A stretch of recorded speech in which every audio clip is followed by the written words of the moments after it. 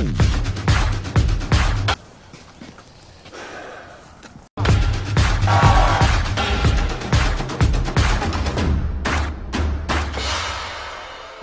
should we believe anything you say?